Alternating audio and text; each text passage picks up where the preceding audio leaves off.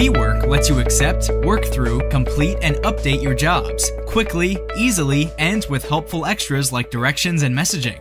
First thing you want to do is log in. Get your email and password from your company's VWork admin. Type them here to log in. For speed, you can even log in with a barcode, if provided, or even have your VWork admin text you a live login link. This makes it easy. Once you're logged in, your list of jobs will arrive on your phone. You can scroll through the list to see what's on. You can tap into a job to accept and decline here, and even choose a shift on or off if your company uses this. In the main menu, we have Job Search for you here at the top. You also have access to your messaging. Messages are available with the messaging icon top right. The main menu also includes the job map. Tap into this to see all of your jobs on a map.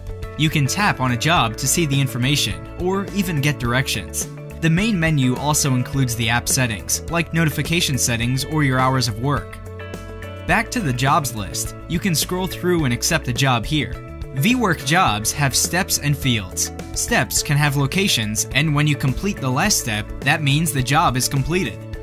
Job fields are for notes, photos, lists, and other detail and job fields can be made mandatory. You can tap between steps and fields here at the bottom of the page. You can also go into the invoice or your job specific map here too.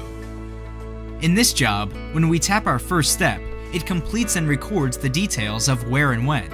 You also have options here to decline, reassign, and reschedule. See the customer details here and pause a job in progress here. Tap on the map to see the first step location, then tap on job and tap to start the directions.